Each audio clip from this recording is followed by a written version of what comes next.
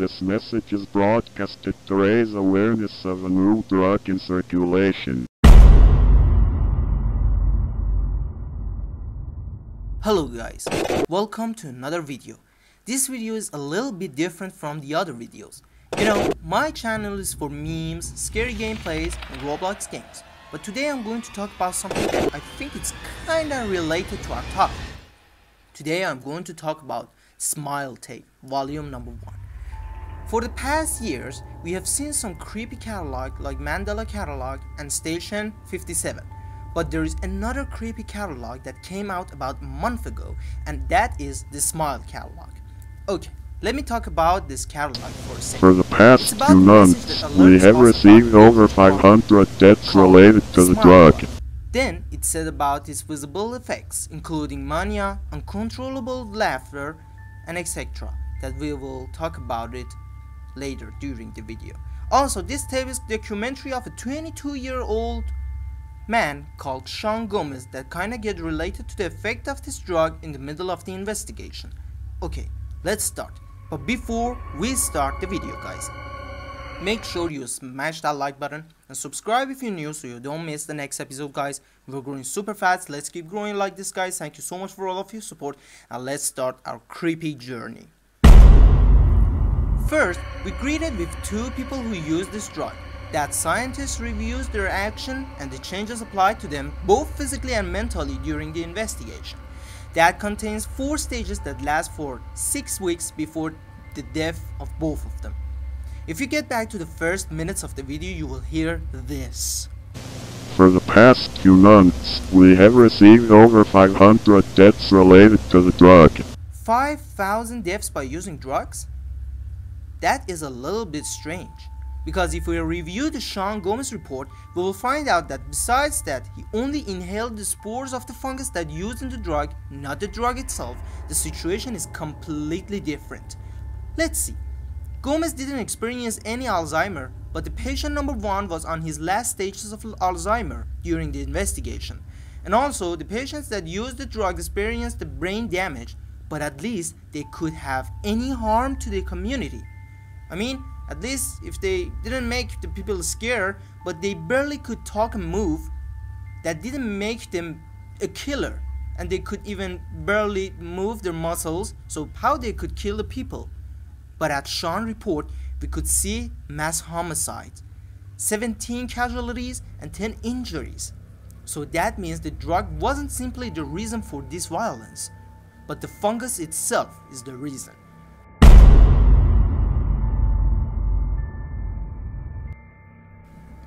If we get back to the last stages of the patients, the story is like this.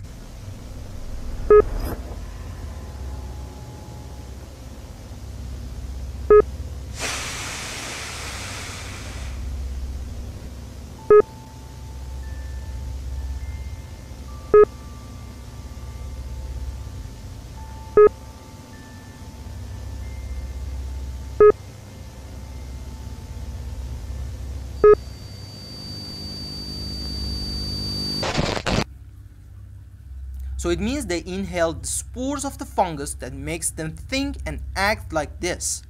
If we get deeper to the document of the and the story of Sean, we could see that they only last for 27 days before he get insane.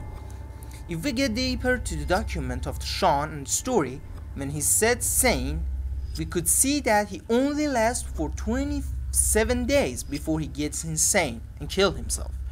And at that time, he said about his dream and a man who saw his face while flying in his dream. If you know, this picture has its own history too. The story is about all. This the all story is about that people saw or will see this face in their dreams, and no explanation about that. Honestly, I don't know why, but it's true. Psychological doctors have been working on this for years, but no results have been found. Anyway, back to the topic. If we analyze the action of Sean, we could see that at the first pages, it said his friends told him that he became more happier these days. But if you look back, we could see something completely different about Sean. And that means that Sean and other person who presents at that room while investigating, they were quarantined. So what does that mean? So how they could be that free that they could visit their friends or even having a dog at them? It's obvious that they were not quarantined anymore. Or maybe I'm wrong, maybe they could be something else. It is possible that at that time that Sean was quarantined, no changes or effects applied to them, and that makes the investigators to get to the result that they both are okay. And then let them get out of the quarantine. And then the effects start to happen when they get out of the quarantine. If this theory is true so the timeline could be much more longer than 27 days for Sean at the first part of the video we can see that 500 deaths has been reported due to the drugs. And we know that drug couldn't be only the reason for all of this. I mean the drug is only reason for the death of the user of the drug, not the others. So how they said that most of the deaths have been reported in the dark alleyways. The story would be similar to that two patients, but now we can see that some people died, or let me say it better, get killed in the alleyways. But we already found out that the reason of violence is not the drug, but also the fungus that damages the nerves, and for the people that inhaled it, only like Sean. So that means the big part of these 500 deaths are not people who use drugs, but it's about the people who get killed by the killers like Sean that inhaled the fungus. How much this is going to get deeper? Let's find out. So there could be only one way that make this all make sense and that is the people who use this drug exhaled the spores of fungus and the people who was close to them and inhaled them become the killers like Sean and that is the reason for, for 500 deaths at that time. So that could be two groups. One group is friends and families which is closest to the patient and the people who accidentally pass away from them. We know that the most of the people who are addicted to drugs will mostly like to found in empty alleyways. So maybe they exhaled the spores of fungus and maybe at that time the person was about to pass from that alleyway and he or she inhaled the fungus, having no idea what is just happened to him or her or what is going to be happening at the future of him or her. Stay tuned guys, we are going to know and investigate more about this theory. the smile drug, the fungus, the patients, the effects.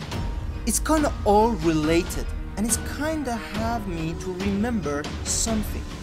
I've done some researches on Google and I found out that this effects of that is kinda similar to the effects of the fungus that we could find on the east of Asia and mostly in Africa. Yes, that is the magic mushroom. If you go to the Google and search about magic mushroom, you will find out all the effects or 99% of the effects are exactly similar to the effects of the people who inhaled the fungus.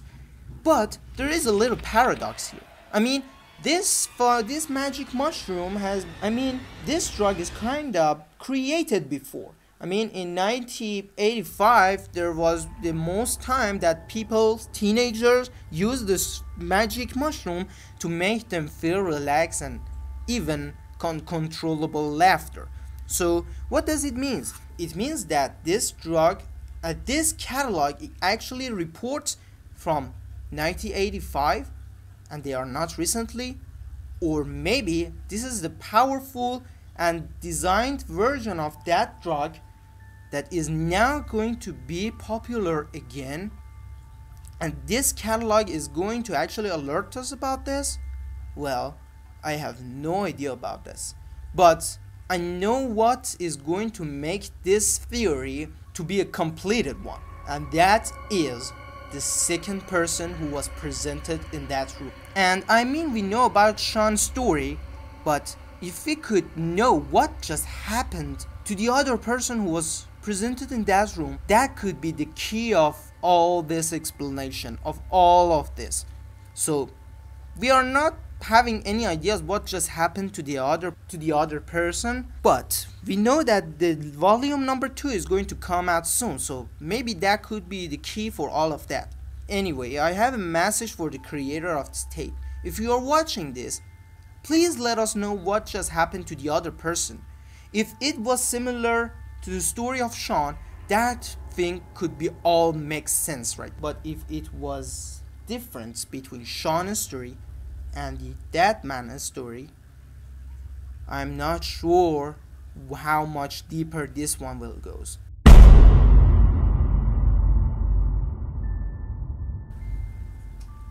Okay guys, I think it's enough for today. Thank you so much for staying with me. This is your host BONMAN. And if you're new, please make sure you smash that like button, subscribe, share this video if you want and if you have any idea or suggestion, please write this in the comments below. I will read it. Thank you so much for all of your supports, guys. And remember to stay away from dark alleyways and even suspicious persons. We don't know what is going to happen. Thank you so much for watching, guys. Take care of yourself and goodbye. Thank you so much for staying with me until the end of the video. I hope you enjoyed it. If you did, please like and subscribe for more awesome videos. Can we become one of the best YouTube channels exist? Maybe. Nobody knows.